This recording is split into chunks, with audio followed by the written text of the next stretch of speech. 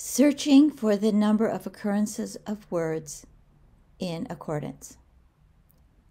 This short video is intended to help you with practice exercise 3, part 6. You'll notice that the sample word that I gave you was Elohim, the word for God, and that I came up with 2,600 occurrences. Go to Accordance and choose in your search bar words. Type the consonants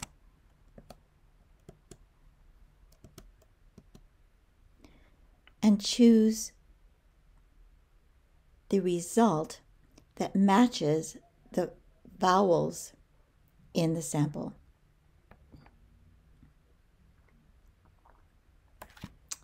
Hit return.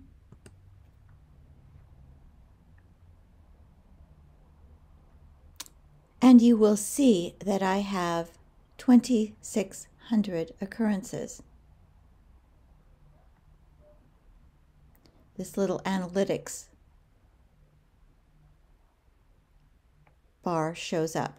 Now, if that doesn't come up right away, you can activate it by clicking on Analytics, Analysis BHS, and you will find a more complete description. Total number of verses 2247 and 2600 total words.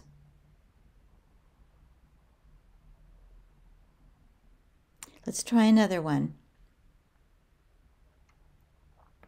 Let's try this time the word, the second word that is in the list, tehom.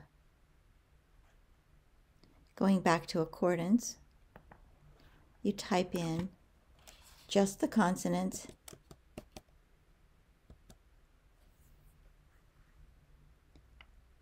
Choose the one that matches the vocalization. Hit return. And notice that the total number of hits is 36. And you have down in the right hand corner a more complete description of the occurrences of the word. You can also look at things like a concordance, where all those occurrences are found and then a table which shows how many times in each book of the Bible. Let's try a third one. The word that it comes third in the practice exercise, or, or light. Go up to accordance, search bar, and type.